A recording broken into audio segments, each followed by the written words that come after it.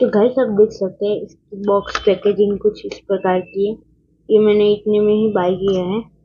और ये कुछ इस प्रकार की इसकी बॉक्स पैकेजिंग रहती है यहाँ पे लिखा है ओपन हियर तो उसको ओपन कर दें।